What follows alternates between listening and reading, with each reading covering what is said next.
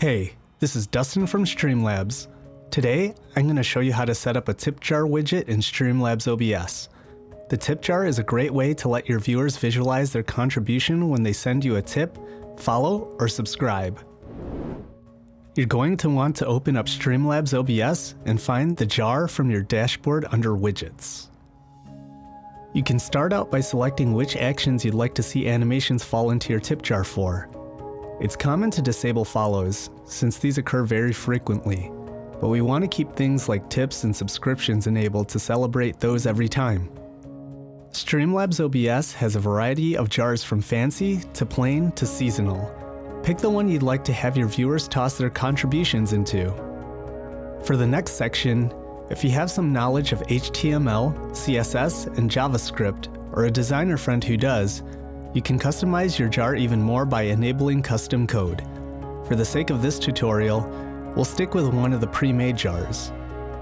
Next, you can choose if you'd like text to run across the screen as someone makes a contribution.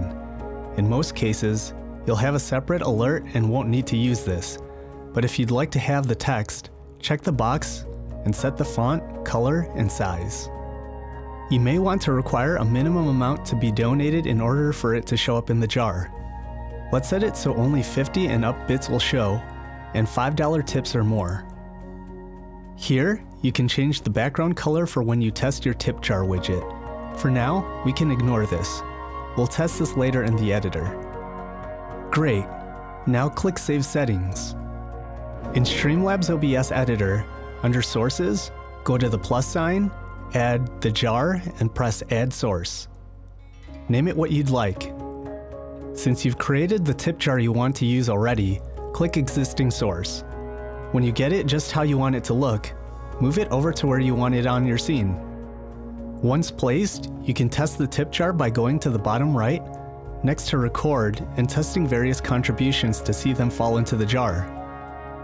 If you aren't using Streamlabs OBS, you can place the widget by pasting the URL from the top as a browser source. Be sure to download Streamlabs OBS by visiting streamlabs.com and hop into our Discord server at discord.gg/stream for live community support. Check out the links in the description below.